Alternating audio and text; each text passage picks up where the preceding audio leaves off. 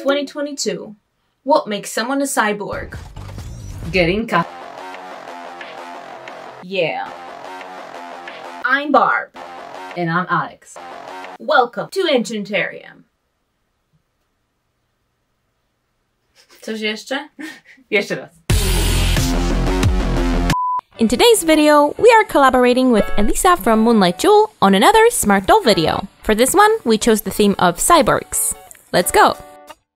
On the Smart Doll website, in the freebie section, you can find a model of a small bust piece, which was an obvious move for this collaboration, as modding a Smart Doll is not exactly something we would want to do. These dolls are pricey, and by modding one, we couldn't use it with another blank head to make another character. A big collaborator on this project was my boyfriend, who is a graphic designer and 3D modeler for a game company. He modeled this heart insert in the chest in Maya. I printed it in skin tone water washable resin from Elegoo. The heart is open to allow a small LED light to light it up. I made a quick and dirty circuit with a button type battery, two cables, and some electrical tape. And the LED just inserts into these cables. That way, there's no switches and soldering involved. To cover the hole, I cut a piece of acrylic, which I sanded down on both sides to make it disperse the light better, and followed that up with a piece of pink vinyl. Then, my overachieving ass decided, you know what would be cool? Robotic gauntlets. Like Vi from League of Legends and the Arcane Netflix show I really enjoyed lately. And not only that, I wanted it to be posable. Like every finger to be posable. So that I did. I don't even know how long it took to model, I started in CAD to make all of the moving parts. I thought I would record myself doing it in real time, but ended up with tons of boring footage. Here's some funny bits. The actual mechanical parts were pretty well tuned, so I went on to print them. Here's a few early prototypes. Weird fingers that were too wobbly, some first editions of the final design, on which I managed to break a drill bit, a working prototype for which I didn't have the right screws, so it's also wobbly and broken after playing with it too much.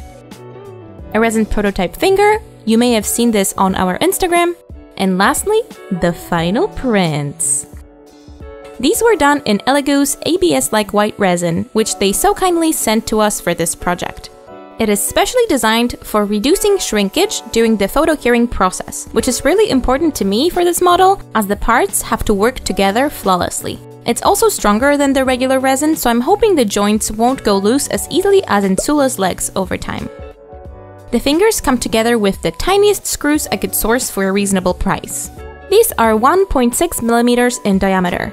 The assembly was pretty easy, and although I didn't have all the right lengths of the screws, they cut easily enough.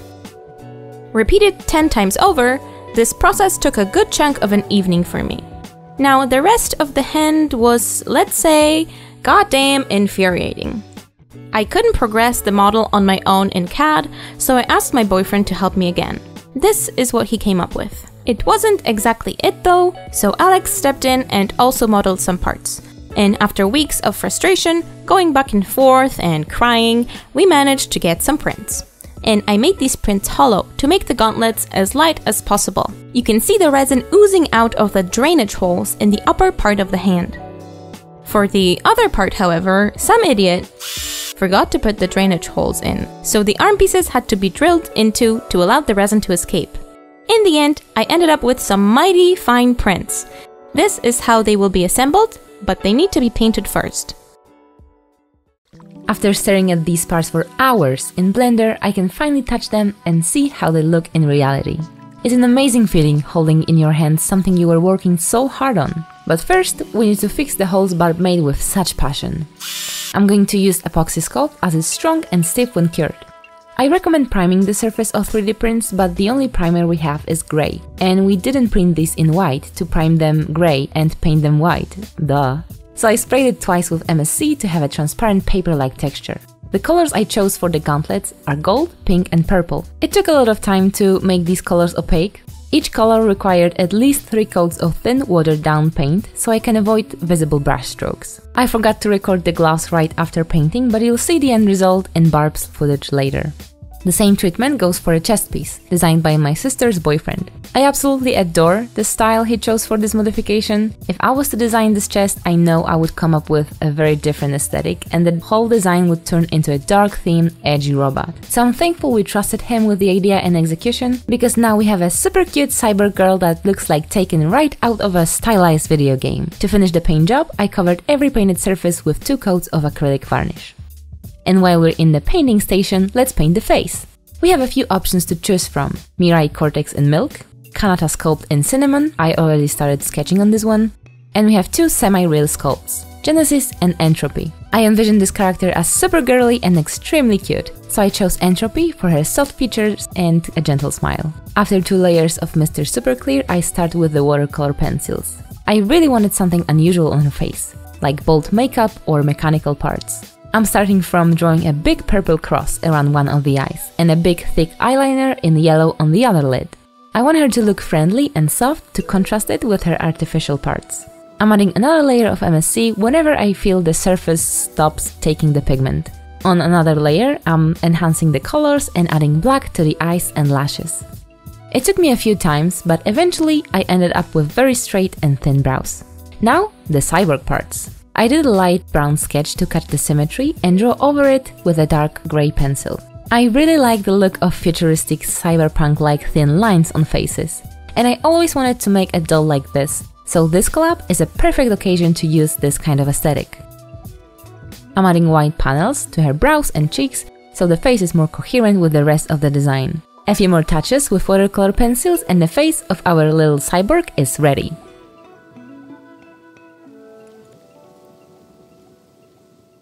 For her top, I'm keeping it very simple and making a tube out of this light purple velour. I just hemmed the long sides and stitched the short sides together. To complete the top part of the outfit, I am making a vest out of this gold fabric. I sewed the backs right sides together and the fronts to the back at the shoulders. I stitched the side seams as well because I thought it made sense and added a collar.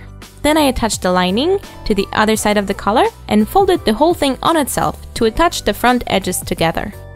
I realized that in order to sew the lining and the main fabric together at the armholes, I needed to take out the side seam, so I did, and sewed around the armhole right sides together. Turning it out was a bit difficult but doable. I then sewed the side seams back together. I decided to remake the whole thing with a dark purple lining since it was going to show and I added a zipper to the front edges. To close up the bottom, normally you could flip the whole thing right sides together, but since the vest is cropped and so small, I had to come up with something else, as I didn't have enough room for that. So I basted the layers together and added a white band from purple fabric.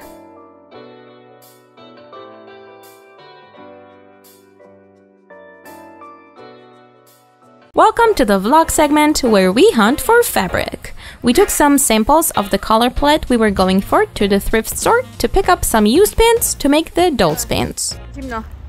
Zimno i wieje.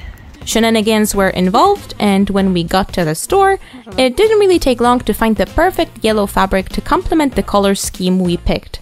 We celebrated our success by going to the nearby bakery and getting what we call warm ice cream, A Polish dessert made of egg white based mousse topped by syrup, chocolate, and other topping, and presented in a waffle cup resembling Italian ice cream, and as such, giving name to the dessert. To sew the pants, I actually came up with a decent pattern of my own.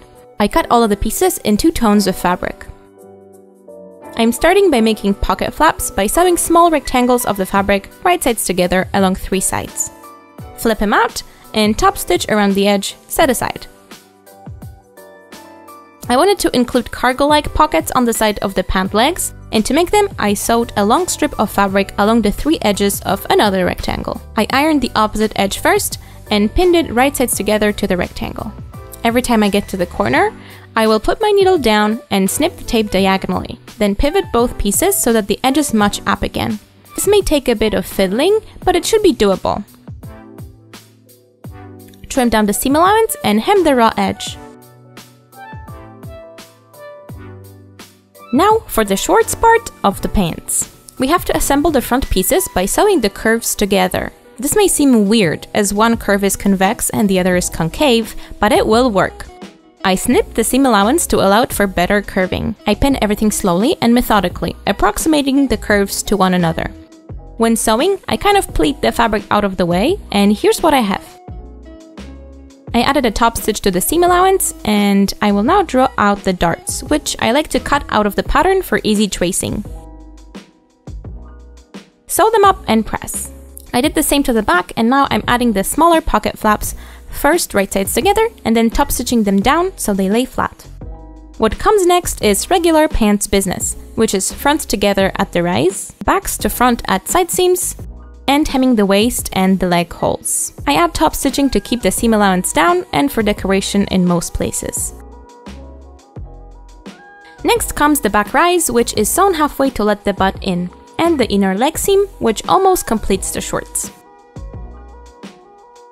I snip, snip, snip, snip, snip this seam for a smoother look and add a closure in the back. I am essentially recreating these pants, so we need to make the pant legs separately. These are made of two two-colored pieces per leg, so I need to join these similarly to how I did the fronts of the shorts. Then, two mirroring pieces are joined at the side seam. Both the top and the bottom can be hemmed, and it's time to add the pockets, which gave me some trouble as the fabric was on the thicker side.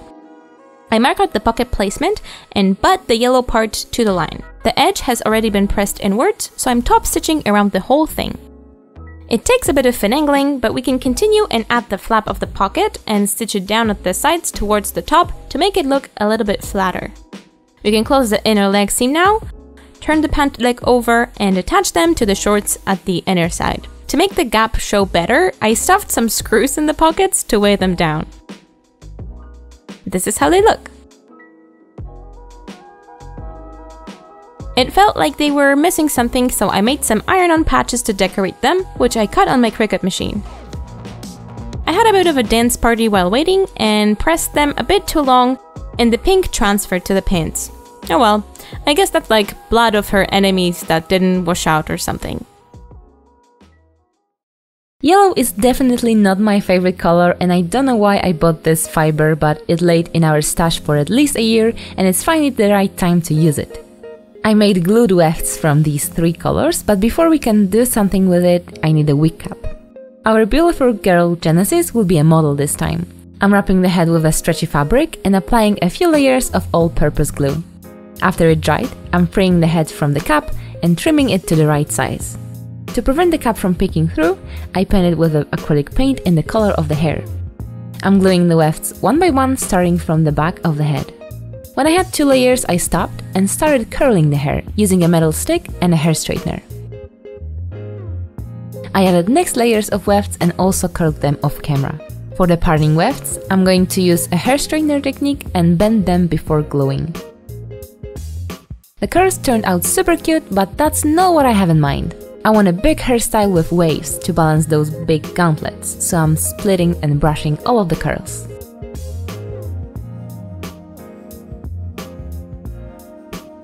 Then they need a little trim. So fluffy! We decided that space buns will be a good choice for this hairstyle, so I'm securing the hair with a wire, twisting it and fixing in place with a yellow thread. I wish I did that before trimming the hair. The buns would come out bigger and fluffier and there's nothing I can do with the length of the fibers now. And well, it turned out we accidentally made a delightful hairstyle. it's not my first semi-real face-up, but these are going to be my first semi-real eyes. Bar printed these bases for me and I made this eye design on my computer. They were printed on a vinyl paper and are easy to stick to the resin base. Then I'm applying a few layers of UV resin to make that dome effect. It's not my finest work, but I really like how they look on the doll. Barb said she doesn't like how small both irises and pupils are, so I had to redo them. It's important to me that we're both happy with the result, so that was not a problem at all. I made them bigger with bigger pupils and it looks like this. The last outfit part is the shoes. These were almost directly pulled from the RTFKT Challenge shoe model I found online. My lovely boyfriend helped me with this again. He's like a 3D model magician to me. He took the model, made a last for me, fixed the sole file so it could be printed, and pulled out what's called UV maps of the different parts of the model so they could be turned into a pattern for the upper in Illustrator later. Illustrator later, alligator. Somebody stop me. I cut all of the parts and interfaced them so we can begin assembling the shoe. I first glued down all of the edges that needed to look finished. I recently found this Uhu glue, which I know Elisa uses in her customizing, so I decided to give it a try, and I gotta say, I'm hooked. Probably because of the fumes. These shoes, for the most part, are just made with this glue. There were two parts that needed to be sewn, right sides together, and that is the tongue and the main back piece. I stitched around all of these sewn pieces and glued pieces to make them more secure. I have the pieces all laid out and a note with the order of operations so I'm not confused. I printed the lasts on my ender since I just needed the basic form of the shoe, and I taped up the bottom to get the shape of the sole. I cut these out of cardstock and glued pink cotton to them, wrapping it around the edges to the bottom. I drew out the seam allowance and start assembling the tip of the shoe, forming it into a domed shape. I felt like this was the most difficult part to get right. I glued in the tongue and this piece is ready for now. Next, I assembled the back portion of the shoe, layering the pieces just like on the reference model. I skipped some of the elements of the original because they would be just too small for the doll scale. I glued the fronts to the back, and it was time to assemble it on the last. I use a piece of masking tape to temporarily hold the sole to the last, and begin gluing the excess of the upper to the bottom of the sole, sewing it down for a tight fit. When the glue dried a bit, I added the last four pieces which will hold the laces later. In retrospect, I should have added more of the details like this, just being glued in one spot and loose in the others. I think it would work a bit better. I marked out the eyelet positions with a removable pen and tried to cut the holes out which was pretty darn difficult, as there were a lot of layers and the fabric I chose, although the right color, was very thick. I managed to put the eyelets in eventually. The last piece of this puzzle is the sole, which I printed in the same white resin from Elegoo to match the aesthetic. Using a generous amount of glue, I pressed the uppers in. I laced the shoes with a flat white elastic, but later I changed it to a ribbon, which you can see in the back while I show you the finished painted and glued chest piece. It's time for the star of the show, the final assembly of the gauntlets. First, in order to make sure the gauntlets don't fall off, we need to drill out the doll's hands. I designed it this way so that the arm goes in and will be held with a screw. Don't worry, the hands will still work without the gauntlets, as the hole is not big and doesn't disrupt putting the regular hands on them. I had a bit of a problem sourcing these M3 screws in my local hardware store, so I had to use what I have on hand. These don't go all the way through to the other side to be secured with a nut, but it's not necessary as this is not a joint. Next, I will connect all of the fingers. The thumb went in alright, but for the other fingers I didn't have enough space to hold the nut with my finger, so I had to glue them in before I could screw them in. Woohoo glue to the rescue! I carefully put all of the fingers in, and the moment of truth. Do they move? And the answer is yes! I was so relieved it all worked properly. The last joint is the wrist joint. I used my power drill to drive the screws this time, as they were finally big enough to do that. These screws were not available in the shop, so I had to use these longer ones, but at least I managed to buy these nuts, which I didn't have on hand. With that secured, my friends, we are done. This is how she turned out. I sincerely hope you guys love her as much as we do. I feel like the more turmoil there is during the project, the better it turns out, and that's not something I would like to keep up with because the modeling on this one took a mental toll on both of us and my boyfriend too. It's hard to not try to beat ourselves with the next project as we want to make them exciting for you every time you come back to our channel, and it feels like it's going to be tough to make something bigger and better next time. Anyways, we decided to name her Koko, as in double knockout, and Kokoro in Japanese means heart, like the one she has on her chest. And with her hair, she kinda looks like a chicken. And in Polish, the sound that chicken makes is what is the chicken sound in your language? Let us know in the comments down below. This video is a collaboration with our friend Elisa from Moonlight Jewel, so make sure you check out her amazing cyberpunk style cyborg doll as well. Her video is linked down below. Thanks again to Elisa from Moonlight Jewel for collaborating with us. Thanks to my boyfriend, who did a lot of work for us this time. And thanks to Elegoo for sponsoring the resin for this project.